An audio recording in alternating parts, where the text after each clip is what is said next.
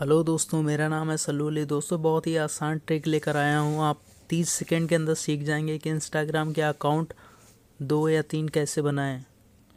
बिना ईमेल बदले और बिना फ़ोन नंबर बदले आप जितने चाहें अकाउंट बना सकते हैं। तो चलिए वीडियो शुरू करते हैं।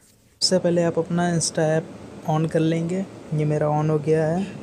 तो सबसे पहले आप साइड में दिखती है आपके प्रोफ़ाइल का आइकॉन इस पर आप क्लिक करेंगे।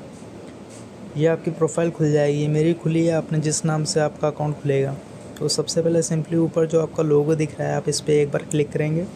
ये देखिए, मैंने अपना सेकंड अकाउंट इससे बना रखा है। तो सबसे जो थर्ड पे ऐड अकाउंट का ऑप्शन दे रहा है, आप इस पर एक बार क्लिक करेंगे। इस पर क्लिक करने पर देखिए, दे रहा है log in to extra account तो इस पर आपको क्लिक नहीं करना है, आपको सबसे नीचे क्लिक करना है क्रिएट न्यू अकाउंट ये देखिए सिंपली मैंने इस पर क्लिक करा। अब अपना इस पर कोई भी नाम डाल सकते हैं, जैसे मैं अपना डाल देता हूँ। ये मैंने अपना नाम डाल दिया। इसमें आप कुछ भी दे सकते हैं। देखिए, इतने ऑप्शन आ गए। अब इसमें कुछ भी सिलेक्ट करके अपना न्यू पासवर्ड डाल सकते हैं और यहाँ पर से आप अपना अकाउंट बना सकते हैं। दोस्तों, वीडियो अच्छी लगी हो तो एक लाइक कर दीजिएगा ताकि हमको और मोटिवेट और ज़्यादा अच्छी वीडियो बना सकें।